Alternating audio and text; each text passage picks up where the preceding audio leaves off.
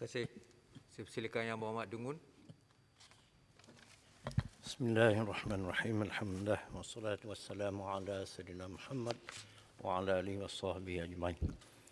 Terima kasih Datuk uh, Pengerusi. Butiran 30000 aset di mana kita melihat dalam sumber keuangan kerajaan persekutuan. Dalam perkara yang melibatkan hasil kerajaan persekutuan termasuklah hasil wilayah persekutuan. Lalu ada aset-aset yang diperolehi walaupun dalam anggaran tahun 2021 756,000 berkurangan dari anggaran tahun 2020. Adakah ini termasuk daripada 42 lot-lot tanah yang didakwa telah dijual? Bolehkah Menteri jelaskan isu ini untuk pengetahuan semua? Butiran 020200 Dewan Bandaraya Kuala Lumpur Saya ingin bertanya mengenai langkah-langkah pencegahan penyebaran wabak COVID-19 yang diambil oleh DBKL di tempat-tempat awam dan kaedah penjimatan yang boleh dilakukan selain daripada melakukan kerja-kerja sanitasi awam. Bolehkah juga dijelaskan?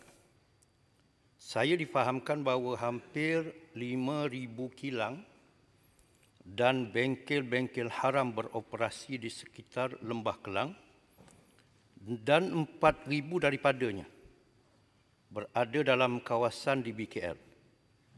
Bagaimanakah penyelesaian yang diambil untuk menyelesaikan permasalahan ini? Butiran 04000 Projek Sosial, Rekreasi dan Kemudahan Awam Kuala Lumpur. Seperti yang semua maklum, rutin harian kanak-kanak untuk bermain dan pergi ke sekolah terjejas teruk disebabkan oleh Perintah Kawalan Pergerakan PKP. Walaupun secara fizikalnya ramai ibu bapa bekerja dari rumah mereka tidak dapat memberikan sepenuh perhatian serta memenuhi keperluan emosi kanak-kanak. Memandangkan mereka juga perlu memenuhi tuntutan kerja. Ramai pakar yang menyatakan bahawa pandemik COVID-19 ini bukan sahaja menjejaskan kesihatan mental orang dewasa, bahkan juga kanak-kanak. Soalan saya, adakah Majlis Perwakilan Penduduk Wilayah Persekutuan, MPPWP, akan diberikan geran untuk menjalankan program khusus untuk anak-anak terutamanya bagi anak-anak yang tinggal di rumah flat dan pangsapuri. Selain itu, di outcome tiga bagi Kementerian Wilayah Persekutuan, iaitu Komuniti Wilayah Persekutuan yang Sejahtera, di mana kementerian telah mensasarkan peningkatan daripada 79.30% kepada 80.00% indeks kebahagiaan.